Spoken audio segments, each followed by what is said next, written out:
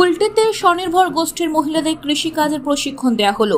বৃহস্পতিবার পশ্চিম বর্ধমানে কৃষি দপ্তর ও আসানসোল পৌর নিগমের যৌথ উদ্যোগে এই প্রশিক্ষণ দেওয়া হয়েছে। উপস্থিত ছিলেন আসানসোল পৌর নিগমের M M I C Indrani Mishra. এদিন প্রায় একশো জন মহিলাকে এই প্রশিক্ষণ দেওয়া হয়েছে। উদ্যোক্তাদের তরফে জানানো হয়েছে এই দিন প্রজেক্টরের মাধ্যমে পশুপালন, মাশরুম চাষ সহ বিভিন্ন চাষবাসের প্রশিক্ষণ দেওয়া হয়েছে। এর ফলে স্বনির্ভর গোষ্ঠীর মহিলারা স্বাবলম্বী হয়ে উঠবে।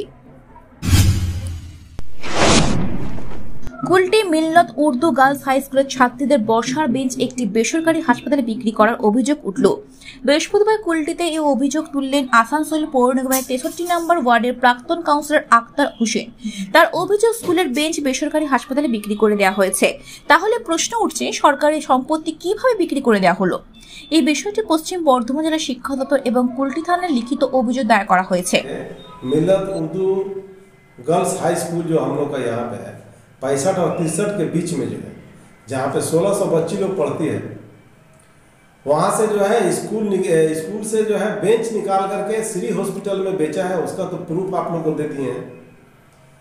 इससे इसके अलावा भी दिन में निकला है, रात में भी बेंच निकला है। तो बेंच निकाल बेचने का ऑर्डर कौन दिया इसको तनवीर इमाम जो है, ये तनवीर इमाम नौ महीना के लिए गार्जियन रिप्रेजेंटेटिव था वहाँ पे स्कूल में, और वही है ये काम किया है, टोटल काम। ये बेंच चोरी हुआ है। चोरी हुआ है या ले गया है लेकिन हम लोग के पास जो वीडियो आप लोग को दिए इससे तो समझ में आ रहा है कि सिटी हॉस्पिटल में एक तो कोर्स चल रहा है छह महीना का कोर्स है नर्सिंग का कोर्स है जिसको लेकर के वहाँ पे बेच दिया गया इस बेंच को। श्री नर्सिंग होम में सारा बेंच कितना बेंच निकाला गया स्कूल से? अभी तक तो मोटा मोटी हम लोग को मालूम हुआ तीस तो बेंच निकाल दिया गया। तो कौन निकाला है? ये तनवीर इमाम निकाला है जो हसन खान जो ड्राइवर है गाड़ी का ड्राइवर वो बोला कि हमको ऑर्डर तो वही दिया रहा।